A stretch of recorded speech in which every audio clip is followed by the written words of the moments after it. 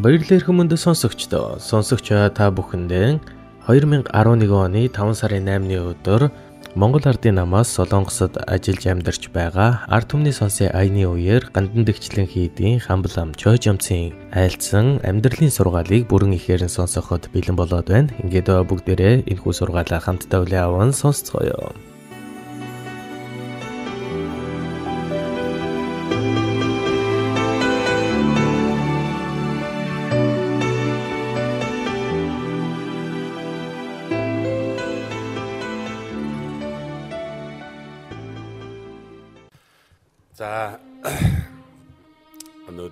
Сайхан бэлэг дэмрэлтэй өдөр.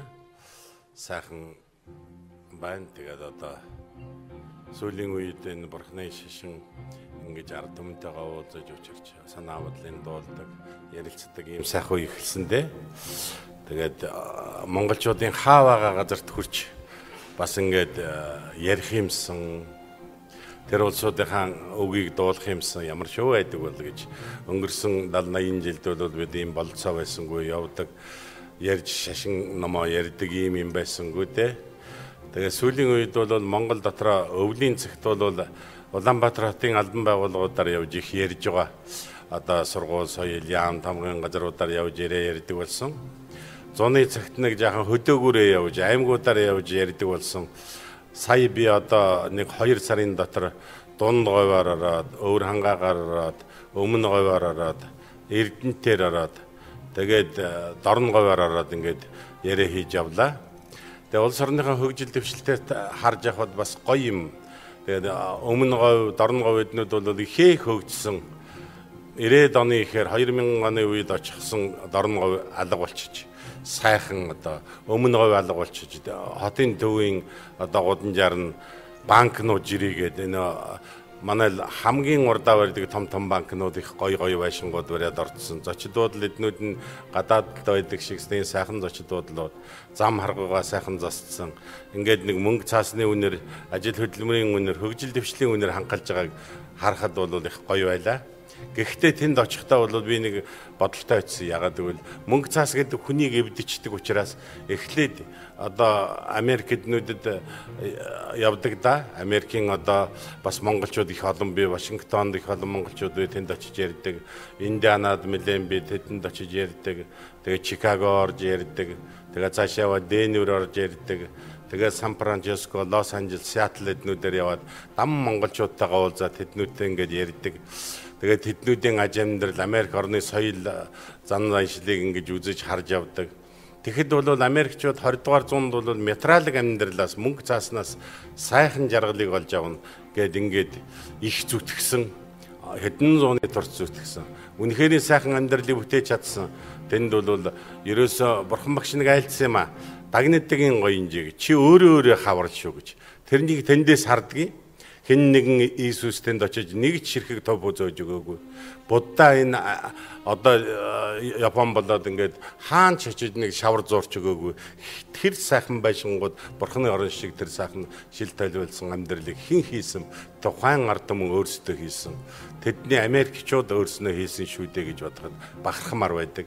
Гэхдээ тэнд нэг юм байдаг юм ганцхан материаллык амьдрал тэр гоё сайхан байшин мөрөөдөд алтан мөнгөн машин жигтэйхэн гоё байшин дотор далаа багш эднүүдтэй очиод олон улсын хорол суугаад тэр их баячууд хянуу жүжигчин гэр мэрээс авахлаа Ричард Балаам эднүүдэгээд тэр бомтон эднүүдийн гэрээр очиод тэгээ байж хад тэр шил толь болсон дотор зовлонтой хүмүүс байгаад байдаг гэр бүлийн амьдралын байна үр хүүхэд нь олигтой өсөж хүмүүжээгүй дандаа зовлон жаргал яриад нэг шоу бариад мэрлэгчээ болоод тэднүүдийн зовлон жаргалыг дуулж яхад тэр их гой байшин дотор чинь зовлон байдаг юм байна штэ гэж.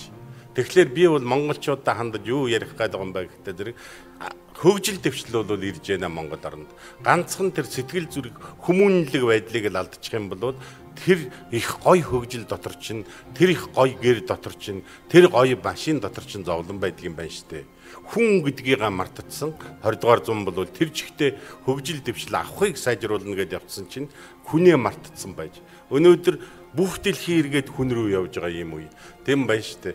Тэгээ Европод очиад олон улсын хуралд суугаад хамгийн эрдэмтэй мэрэгэн мундаг улсууд нь очиад цугласан хуралд очиад суухад бид нэг юм мартчихжээ хүн гэдгийг мартчихж гэж ярьдаг.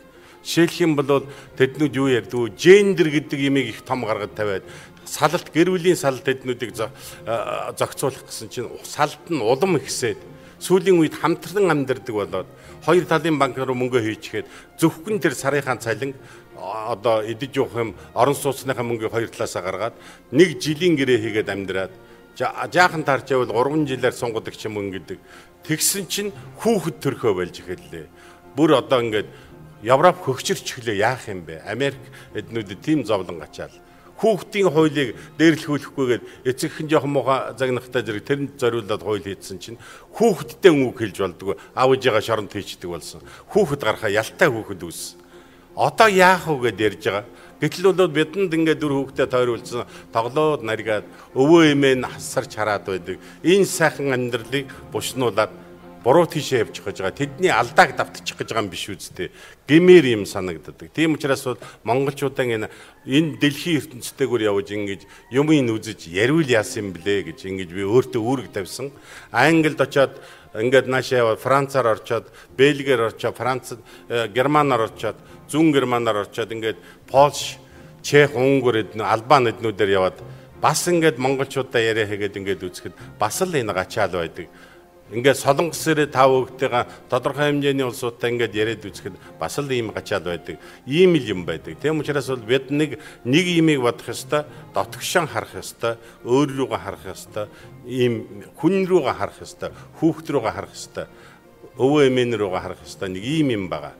Энэ үнийг бол их сайхан бодоорой таанууд.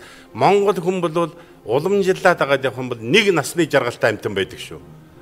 Хүүхэд цагтаан эцэг гэхээр ясруулад ирэн болоод ингээд амьдраад дунд насанд анжиргаад өнөө хүүхдээ үзэж харж ясан учраас ахмад насанда хүүхдүүдээр харуулаад жигтэйхэн жаргаад ингээд нэг насны жаргалтай. Европод очихдоо бол зөвхөн тэр хайр дурлалтай байгаа нэг бие биений хайрлж яваа, биений тэнхээтэй байгаа нэг тийм үедээ жаргаад хүүхэд насандаа ялтай хүүхэд болж өсөөд ахмад насандаа асрамжийн газарт очиод үр хүүхдэн тоохоо байдсан нэг ийм амьдрал. Тэгтээ зэрэг дунд насандаа жаргадаг бусдад нь бол хүний хараат байдалтай ийм болж. Тэгэхээр монголчуудын нэг насны жаргалыг бол бид гээж болохгүй. Биднуудын энэ шашин соёлоос тогтсон аав ээжийн хайхардаг. Одоо улсын наадман дээр очичхад таанууд л явуулдаг байх мөнгө цаастай элдэнгүй юм болсон. Манай миний нэг хүүхэд солонгост байгаа нүдэ жигтэйхэн бахархалтай өвөө эмээнэр ханиадаг хөөрөг нэртэй юм ихээ том хөөрөг барьсан алтан ноохтой юм хөөрг гээл өгөөл их даналзан штэ. Тэгээд өр хүүхдэд дурдаад Америкт нэг байгаа солонгост нэг нь байгаа нүд хангалзан. Тэднүүд дандаа хүүхдээ сайхан улсууд. Гэтэл бол тэтгэврийнхаа хэдэн цаасыг аваад тэгээд нэг юм таяг тулцсан коммунизм үеч өмсч байсан мо хосч амжийнх нь дэгдийгээд угаасаар угаад хачин болцсон. Тэгээд нэг нүдний шил зөөцсөн хатсан талах нэг талах ганц ширхэг ганц хэл ледерс аваад гэр рүүгээ явж байгаа хүмүүс ядарсан хөчүүдийг харахад дандаа хөөхт нь өөдгүү юмнууд эцэг эхийнхээ байр савыг аваачаа ламбар мамбард нь тавьдсан. Тэгээд хачи тийм юм байна шүү дээ. Тэгэхээр бол Бяднуудын монголчуудын жаргал гэдэг бол ерөөсөө нэг насны жаргал энэ үнийгээ өмүүлэхгүй байх хэрэгтэй юм байна гэж ингэж бодогддог. Тийм учраас бол одоо энэ сайхан амьдралыг цогцлон бүтээхийн эхэн дээр бид алдаа гаргаж болохгүй шүү тамина. Дотгошон хараарай. Одоо Улаанбаатар хотод бол нийт ялангуяа ах トゥ нартайгаа захиа бичгэдэг юмгүй. Ягаад гэх юм бол ерөөсө гадагшаа хардаг болсон. Зурагт харж байгаа таван хүнийг харахад ерөөсө сайхан хэлж байгаа нэг ч хэрэг хүн байхгүй болж эхэлж байна. Жишээлбэл зурагт үзэж яхад аа энэ юм их орлон гişөнө. Хаста газрын хэрэгтэй наадах чинь жигтэй хэм мэдэж яах. Засгийн газрын нэг юм гарч ирдэ аайгүй штэ наадах чинь хаста хаваал авдаг иргэнтэй гэж. Тэгтэл нэг жүжигчин гараад ирэхдээ жоо 3 4 салсан наадах чинь хаста. Тэгээ бүр танихгүй нэг авгаа гараад юм гараад ирэхдээ дарваачаа юу яриад байгаа юм. Тэгээ ердөөс Монгол хүн болвол ингэж биеийн өрөөнө харж нэг инээхэ болж бүгдийг өөдөө хардаг гэднүүд. Таанууд бол бас нэг нэг аав ээжээгээ асардаг аятайхан газар байгаа учраас арай гайгүй. Гэхдээ л тэр солонгосын өлбөгөр хянууд эднүүдээ харж байгаа бас нэг тийм уян хатан болцсон хайраа маяач гэж яах шиг бас Монгол зага мангаа эвдлээд Америкт сурсан морсон болохоор нэг гараа ингэсэн нэг хүмүүс сайн байна хүмүүнэгтэн мэдээ яггүй маягтай. Тэгэхээр биднууд энэнийг би ягаад ярьж байгааг хөтөө зөв өөрчлөгдөд байна. Өнөө Монгол хүний нэг загваргүй аран шин байна шүү дээ. Тэр нь өөрчлөгдөд. Монгол хүн чинь тал хэрдээ нутагладаг. Тэр ууланд зунждаг, өвөлждэг тэгэл ингээл ямар загвар байхгүй тэр эднүүд нь өнгөрөөд аль нэгэн хүнийг дуурайж эхэлж байгаа. Хөгжилтэй газрыг дуурайгаад эхэлж байгаа. Биеийн хэлбэр галбар, ярьж байгаа үг эднүүдэд нь ч бүгдээрээ ингээд өөрчлөгдөж байгаа. Ийм хэлбэрүүд харагдаад байна шүү дээ. Тэгэхээр энэ үнийг бол өөрчлөмөөргүй байгаа юм. Яагаад гэх юм бол биднуудын үг яриа элдэнгүй юмнууд жишээлбэл Солонгост байгаа болоод Америкт байгааг харахад бол 90-ад оны өмнө ярьжсэн тэр нэг тавтартай үгээр ярьж байна. Тэгсэн чинь манай Улаанбаатарт очиод онгоцны бодол дээр байхдаа зэрэг шаал хачин үг эднүүд гарч ирж байгаа харагдах юм. Жишээлх юм бол Ахмадын найранд орчиход таныг урд удаан услоорой гэж хэлмээр байна гэж авч байгаа. Хилчихгүй яасан юм бэ ч одоо. Би масгаа явмаар байна. Даанч мөнгө байхгүй яваагүй л байгаа үстэй. Би чамд юм хэлмээр байна. Даанч чи өцөгдөр өнгөрөөд хэлэхгүй. Тэгэхээр төгс үг үгүй л үгш дээ. Тэгтэл тэргээр одоо ярьдаг байсан. Нар хэлмээр байна л гэдээ аваад байдаг. Тэгэхээр энэ мэтийн юмнууд үгүйсэхгүй эднүүд улс төрийн хэллэгийг биднууд ингээд модлоод авдаг бас. Жишээлбэл үгүйсэхгүй. Эхнэр нь гэртээ хөрөөд ирсэн чинь миний үгөө хаалаа хэлэх вэ гэж яг муухай зантаа болох. Үгүйсэхгүй гэж авч яах гинэ. Гэх мэтчил ингээд тэр үгэнд ингэж алдаа гарч ярьж байгаа. Тэгэхээр гурван юм өөрчлөгдөд байгаа юм. Ерөөсө хүн гэдэг ойлголт бол бие, хэл, сэтгэл гурвын нийлбэр байдаг. Иннээс өөр юу ч ярих юм. Тэгэхээр би энэ өөрчлөгдөж байгаа. Тэр илүү одоо мундад дуурсан мундаг тэгээд Америкийн нэг юм гарч ирээд 20 30 давхар байшин дээрээс машин дээр юм хогийн савнд үсэрч унчаал 30 давхар байшингаас ганц ч өөхгүй босч ирээд буудаал өгтлэн алаал цагдааг тэр чигтэнд алчаал. Тэгээ цаашаа нэг нүцгэн бөхстэй хөөхөнтэй зүгээр жирийгээд ойлоо. Тийм тэр эднүүдийг одоо тэгэл Америк очно эднүүд тэр чи одоо ямар амьдрал юм бэ? Тэр худлаа хянууны амьдралыг яг бодит болгоод өгөөл нь бааранд суучгаад хоёр вэ тууч хушуундар зөгнсөлтэй тийм амьдрал гэж хаавах юм чи орводор байхгүй шүү дээ. Жохон залхам цаашаа үеж халуун оргоод байна энэ тэр хачи юм болно шүү дээ. Тийм учраас бол бид энэ биеийн биеийн хэлбэр төсөй их жоо авчмаар хилээ сайхан авчмаар сэтгэлээ Сэтгэл дотор хоёр юм байдаг. Арга байлиг гэж хоёр. Тэр хоёр бүрдэхгүй бол хүн болдгоо юм байна. Боловсролыг дэндүү их аваа явуулсан бидний ертөнц. Гэтэл бол боловсралтай хүмүүсийг өчнөөнөөр нь гаргаж чадсан боловч хүмүүнлэг байдал байхгүй болсон. Тэр банк занк элдүнгийн юм иддэг ч байд юм уу, одч байд юм уу, элдүнгийн муухай юм хийдэг. Гэртээ очиод эхнэр нөхрөө эхнэрээ дарамтлагдаг ч юм уу, нөхрөө сүйдэлдэг. Тэгэхээр тэнд юу дутуу гэхлээрэ хүмүүнлэг тал, аргын талд дутсан. Тэгээ Монгол хүн бол толгойгоо заагаад мэдлэг боловсролыг бол толгой дээр толгойгоо тэр хүмүүнлэг талыг бол зүрхээ дарддаг юм байна. Тэгэхээр энэ хоёр зэрэг хөгжижээ сая биднууд монголчууд 50 сайхан амьдрна. 2 сая 500 мянган хүн сайхан амьдрах юм байна шүү. Тэгэхээр хүмүүнлэг байдлыг бий болгох хэрэгтэй байгаа юм. Энэ үнийг таанууд нэг жоох анхаараарай. Таанууд ч гэсэн их явдал байна. Ягаад гэх юм бол тэнд байгаа мó эхнэр рүүгээ нөхөр рүүгээ захиа бичдэг. Байсагаал хурч ирээл мэргэлүүлээл одоо нөхрөөс 6 сар 2 жил ерөөсө захиараагүй. Хаяа нэг ирэхлээр хүүхдтэйгээ ярих намтай өөр тоохгүй. Юу байна гэхдээ зэрэг юмгүй хичээ тэгэл тавьчих юм байна тэгэл. Хөөх амт тэнд зүдэрсэн бүр хувцастайгаа хатацсан амтд байна дээ. Бүр одоо тэгээд ингээд сандсан жигтэйх. Байсагаал гандан дээр ирээд ном зам уншуулаад жигтэйх юм болоод ингээд. Тэгээд тэрнэрөө бол таанууд захиа бичиж үз хайртай шүү мэдтэй шүү тэр хянуун дээр хэлдэг юм ядахтаа нэг бичээд нэг явуулчаад одоо айтайхан болчмаар байна шүү.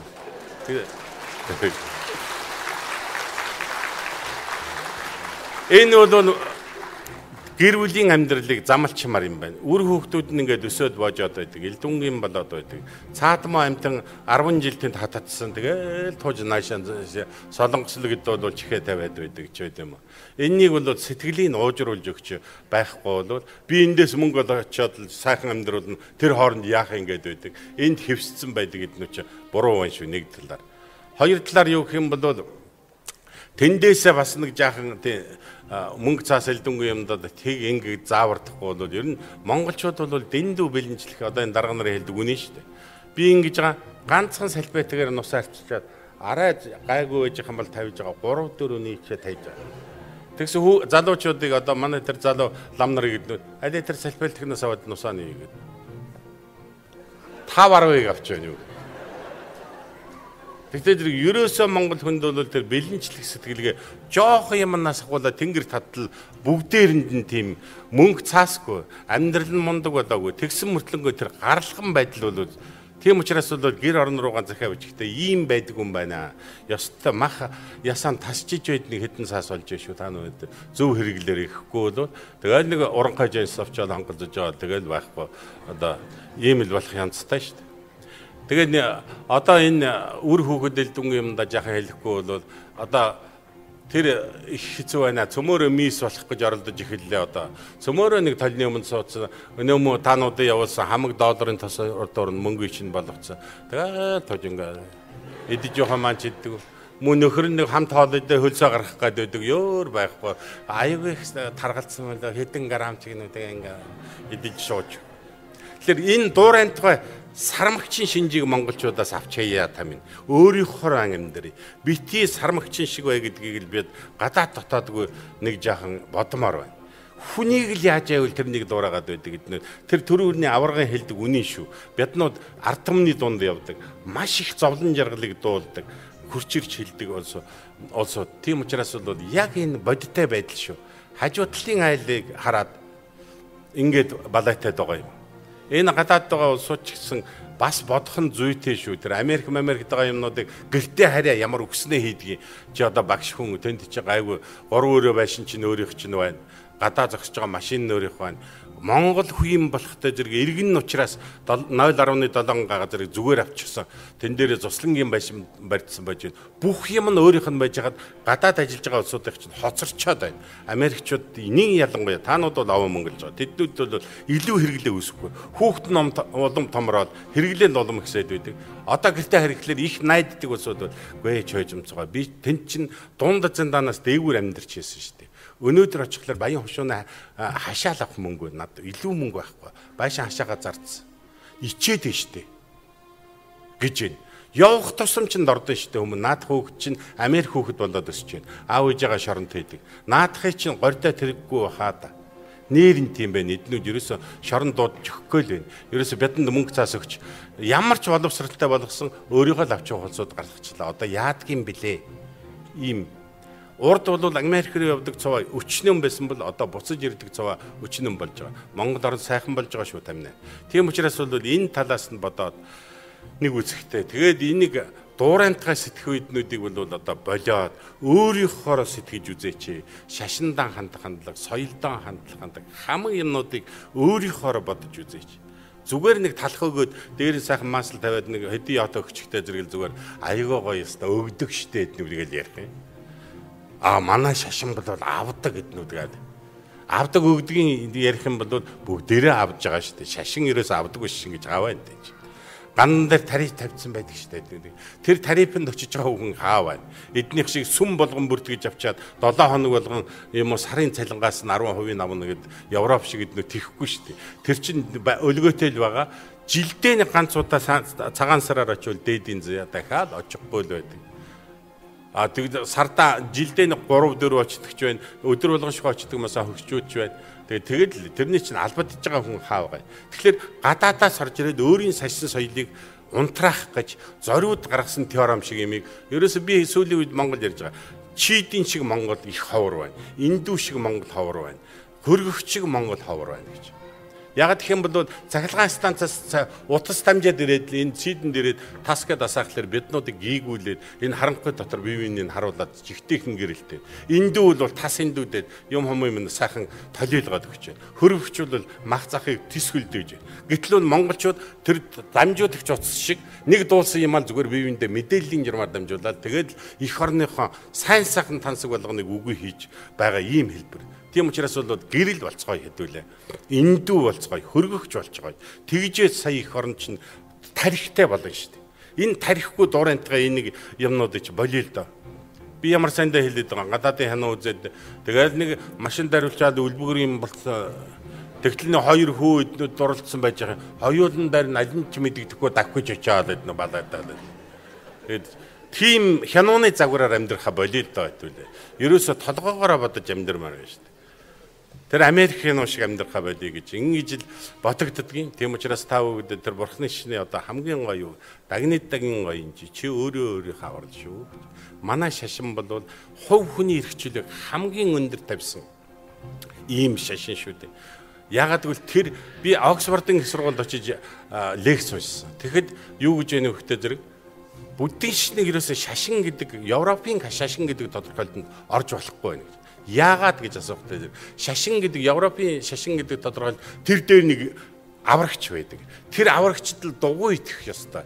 Тэрний зохиосон ямар нэгэн ном байна. Тэр номд шинжлэх ухаан техникийн ололт хичнээн зөрчилдөж байсан тэрэнд итгэх ёстой. Тийм имийг шашин гэдэг юм а гэж.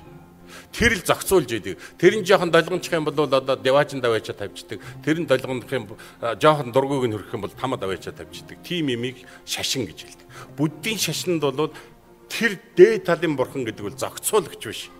Ерөөсө хүний өөрийн дотоод үеийн үр гэдэг бол зохицуулга юм гэж. Хин шорон хийсэн юм бэ?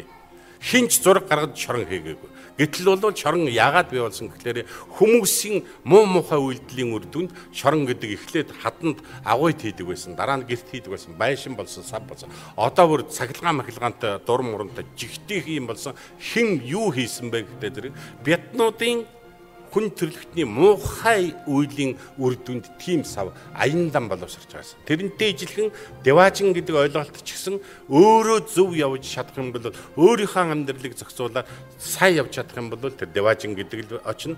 Тэр тэгж чадахгүй бол там гэдэг бүрэлдэн. Энэ насандаа тамд очисон хүн өчнөн байна шүү. Энд чинь бол тийм байна шүү. Жигтэйхэн сайхан боловсрал мэдлэг болоод Тэгээд сайхан сургуульдаа сураад ажлаа хөдөлмөрөө хийгээд мөнгө цаасаа олоод амьдралаа сайхан зохицуулаад ирэхэд деважин дотор амьдрчил байна шүү дээ. Гэтэл бол зохицуулахгүй энд ирсэн ч гэсэн тэгээд арих угаад нэг атомаа юм зүгээр жигтэйхэн Монгол байдгаараа тийм улсууч байна шүү дээ. Арих уудсан. Нэг жоохон бяртай. Тэгээд тэргээрээ нэг гайх болсон. Тэгэл өрвөөс сөрвөөс юм болгоныг цахгүй нэг гатамаа юм гараа хийж орс хараад нэг пазадаач гинэ гэж шүл сүмэлсээ ишин чидлээ л гэднүүд атама тэрвгээр гайхуулж амьдрна гэдэг бол хорвоодор өрөвдмөр юм байна шүү дээ. Тийм байгаа үстэй.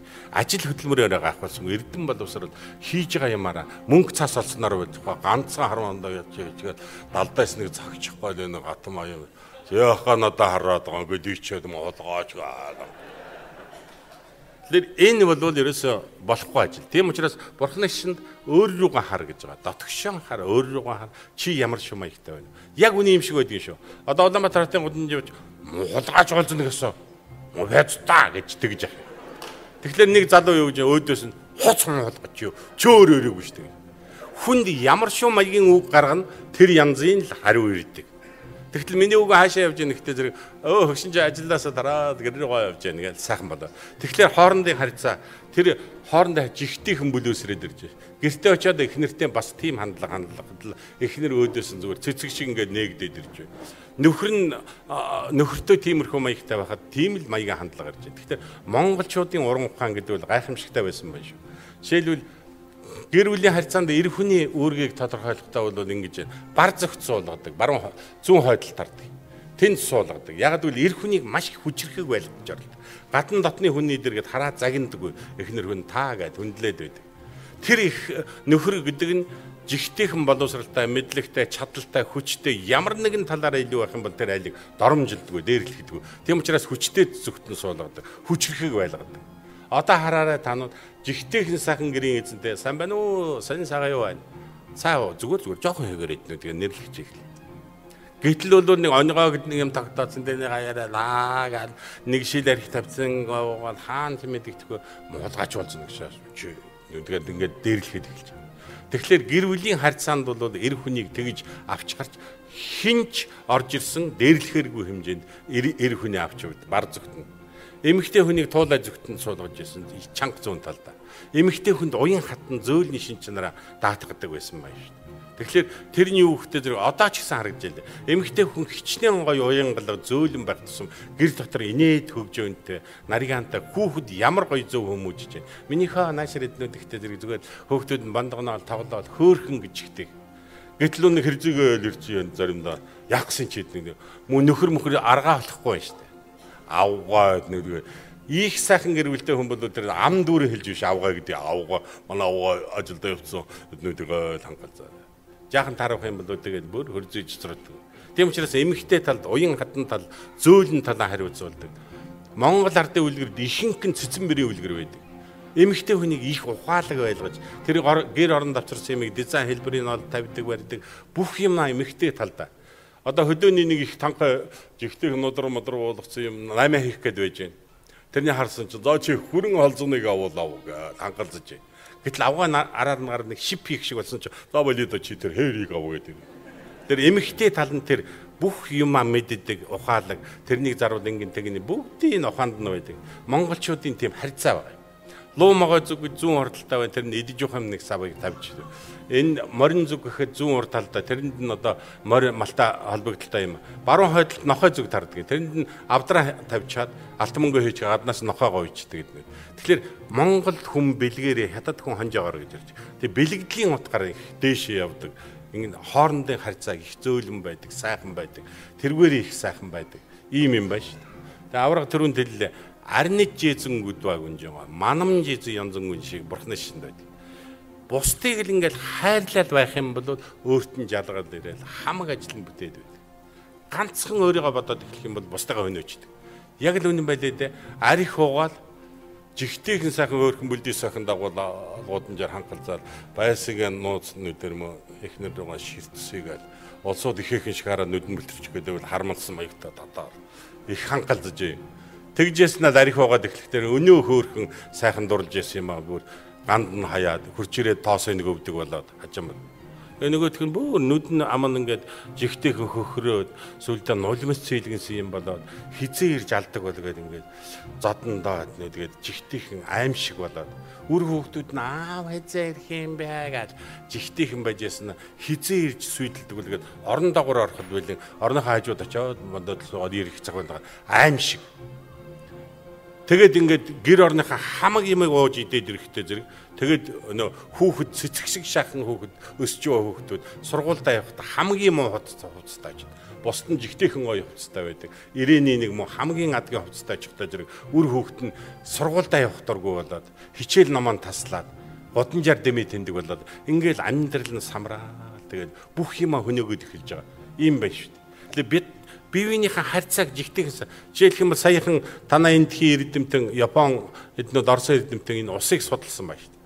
Усны атом молекулын бүтцийг судлаад тэгээ нэгийг навэжид тийш навэжаад үхтэл нь хараагаад загнаад орок pop хөгжим сонсгосон чинь усны бүтц одоо энэ байгаагаас хамаагүй дор хүнд хор болохоор болсон. Гэтэл бол энэний нөгөө талд нь аваачаад үхтэл нь магтаад сайхан ягаад уртын дуу өднөө тавиад бурхны дүрс дотор нь ингээд тавьж байгаад үүсгэд атом молекулын бүтц жигтэй сайжирсан.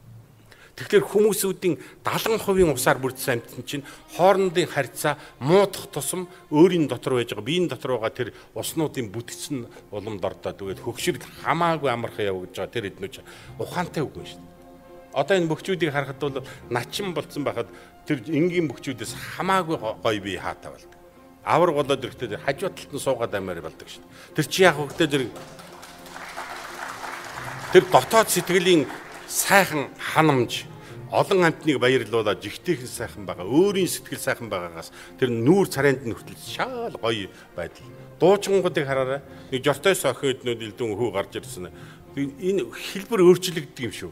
Тэр их олон хүмүүсүүд хүлээж аваад ирэхлээр нүүр царайн жигтэйхэн тунгалаг гоё болоо зүйлдэ жигтэйхэн гоё тэгэхээр биднод гэр бүлдээ гэр бүлдээ хичнээн сайхан байдаг улсуудын сар эзэс ямар гоё байдаг өдөр болгон хэрүүлтэй байдаг улсуудах ямар байдаг лээ чихтих юм л хэлэх юм бол өөдөөс нь жоохон бүтлгөө хөлж хөл зөөрөд зөөрөд ярс гээл чихтэх ярилдэ нүд ам нь нэлээд хорц ер нь тэгэл хатгачих гээд байгаа юм шиг болдог шин тэр чинь бол биднуудын дотоод бүтц.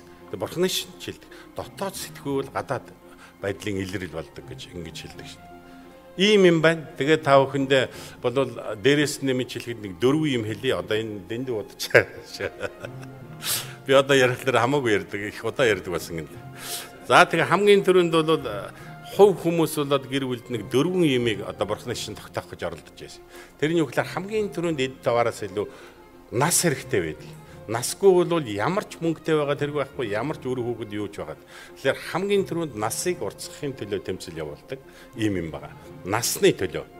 Хоёрдугаарт бол нас байлаа ч гэсэн өвдөд явах юм бол гэр бүл жаргаж өгдөг, хов хүнд жаргаж өгдөг. Тийм учраас хоёрдугаарт нь өвчнгүй байхын төлөө бид тэмцэл явуулах ёстой. Энэ хоёр бол хамгийн энгийн зүйлээс эхэлсэн бурхан багш. Юу гэхэл сай гой жодлом гэж. Сай гэдэг нь идэж явах юмаа сайхан тааруулах гой гэдэг нь хувцс нараа сайхан тааруулах, жодлом гэдэг нь үйл хөдлөлөө сайхан тааруулах. Энд ургаас энгийн зүйлээс эхэлж энд хоёрыг бүтээдэг. А бурхны шинасаа бол биднуудын одоо эцэг өвгдийн чи бурхан дотор яг энэ зорьсон тэр цэвэн мэд бурхан ч байд юм уу цагаан дархиднууд бол насны бурхад тэднүүдээс одоо залбирч тэднүүдээс урт насыг өгөөч гэж ван жанангийн авдаг бясалгалын хийдэг зүрх тарины тоолдог гэх мэтлэнгээр ингэж одоо энэ хоёрыг бүтээд. Энийний дээрээс бол тэр барчдаггүй минь суух гэж юм байд. Барчд гэдэг нь юу гэхээр аюул аваар осол, хэрэл ам, хэрүүл зуг. Энэ байх юм бол гэр бүл жаргаж игдэггүй хов хүн жаргаж. Тэгэхээр энэ үнийг үгүй хийх ёстой. Ажил явдлаа зөвсгдөг. Энэ бие хэл сэтгэл гурвын үйлийг зөвсгдөг. Биеэрээ хийж байгаа үйлээ зөвсгөн. Хүний хүнд нэг сайхан харагдахаар сайхан яв. Одоо энэ залуучууд эднүүдийн харахад нэг хачин Джеймс Мэс хүмүүс албан газарт очиод ажилд орё гэдэг очиод очичоод диплом үзүүлээд би дарга болно л гэдэг эхлээд тэгээд одоо ямар ч харьцаа тэр нэг уян хата хуучны Монгол бол ингээд очиад за би нэг 2 3 сар зүгээр ингээ ажилдаар чамаагүй та намайг тавиад үзүүлээд өгөндөө би сайхан ажил нэднүүдхтэй зэрэг нөө боловсон хүчин сэргээ за аав энэнийг энэ овоох уу шийднүүд их ухаантай юм. Тэгэхээр би хэл сэтгэл урвын үйлийг тэгшилж байж энэ аюур аваар асуул эдгүүмээс хамгаалдаг. Тэгээд 10 хангалт тэргүүтээ гомбол хам эднүүд бол биднуудыг хамгаалагч болоход тэднүүдэд залбирдаг. Дөрөвдүгээрт нь бол эд таваар байхгүй бол энэ эднүүдээ татаад унахчдаг юм байна. Тийм учраас эд таваарыг бүтээдэг тэрэнд нь намсраа байна, цагаан онгор байна, говьла тэргүүтээ бархтуудаа баан авшиг авдаг, тэднүүдийг тагуулдаг, бясалгалын хийдэг. Тэгээд одоо янз бүрийн арганууд байна. Эрдний бомбыг бүтээдэг. За энэ дөрв бүрдэх юм бол хов хүн нэг жаргалтай сайхан бусдын дагалдаад ирдэг гэдэг гэр бүл нэг сайхан амьдардаг. Энийг дөрвөн юмыг бүрдүүлдэг. Дээрээс нь одоо газар нутаг байгаа юм да. Монголчуудын уламжилт шүтлэг. Ягаад гэх юм бол энэ буддизмд бол юу гэхээр бидний орчин байгаа дэлхийг сав ертөнц гэдэг. Энэ сав бузартчих юм бол дотор нь ямар ч гой тунгалаг усыг сүү хийгээд уухтай зэрэг үхлийн шалтгаан болдогтой ижилхэн байгаль дэлхий хордчих юм уу? Байгаль дэлхий муудчих юм бол одоо бид жаргалтай сайхан амьдрах бодооч хэрэг байхгүй. Тийм учраас бол байгаль дэлхийд сүү сайлаан өргөдөг, дээж хуйжаан өргөдөг, байсгээд одоо тэр тахилгатаа уулнуудаа очдөг гэднэд бол тэр юм байна. Байгаль хүн хоёрын хоорондын холбоо бол асар их нарийн байдаг. Тэргээр дамжуулж бол байгальд нөлөөлдөг. Жишээлбэл Улаанбаатар хот ажиллаж байгаа дэр өлсгөлэн мөлсгөлэн болоод жагсаал цугдан болоод тэгэхээр тэнгэр яахын аргагүй модож бүрийгээд явчихдаг. Тэгээ хоорондын харьцаа бол тийм байдаг. За иймэрхүү юм тэгээд ярих юм их байлаа. Тэгээд одоо одоо дуусгая. Тэгээд таанууд нэлээ өлсөж байгаа байх. Тэгээ хамгийн сүүлд нэг Монголын сайхан тарган үхрийн хавир дэлсгч гоё байдаг. Тэр дээр нэг дээр нэг өдний хэрэг цагаан мах байд юм. Зажилууртай. Тэрний дор нэг маарл шиг тийм нэг шаргалдоо сирис өөх. Гэтэ зэрэг жигтэйхэн гоё. Тэрний дор нэг маасал шиг шаргал өөх вэ тэгээ мах байд юм. Тэгээ зүсээд аваач амандаа хийчихээ хэд зажлахлаар нөө өөх нь энэгээр тараад авч авчихгүй нөө махыг чинь зажлуулахгүй зүгээр жигтийхэн. Тэгээд нэг тиймэрхүү маягийн сайхан да тийм ээ бидний Монгол. Тэгээ Монгол улстай тусгаар тогтнол гэдэг бол гайхамшигтай юм байна гэж би бодсон. Өөр Монголд очичоод ингээд байж хаад байна. Ямар ч их газар нутаг төрсэн газар мөртлөнгөө хятад хүмүүсүүдийн нэр гэж юу ч хэлж чадахгүй айгаад хятад хүн орч ирээд ингээд хөтлөө айгаад бурятад очиход тийм халмигт очиход туваад очиход төвдөөтэй дарамслаад очиход хүний нутагтай л амьдарч байгаа юм чи. Гэтэл бол би бодогддیں۔ Ирчээ өвгөнтэй хөндий гэдэг гэж явж байсан тусгаар тагтнал юм байна гэж бодсон чи өвгөнтэй хөндөө оригч цагдаа хөрөөд ирсэн чи могойлогч хөрөөд ир шаагаад өгöөгөө тонголцоо. Хэрвээ хятадд хэрвээ төвд хүн бусдын нутаг дээр тэгж хэлсэн бол бүх насаар нь тагнуул тавиад үгүй бол хэрэгт ороод үгүй бол аваарт орно шүү дээ тийм ээ. Энэ миний нутаг байна чи зайл гэх юм бол хүний хүний дор амьдрна гэдэг бол аюул шүү тийм учраас тусгаар тогтносон Монгол улсын чөлөөтэй сахан иргэд шүү гэдэг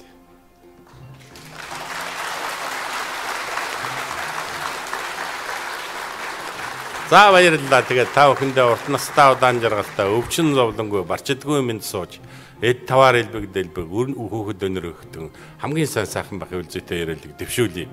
Дөрвөөс дэш хүүхэд гарвал бүр сайн.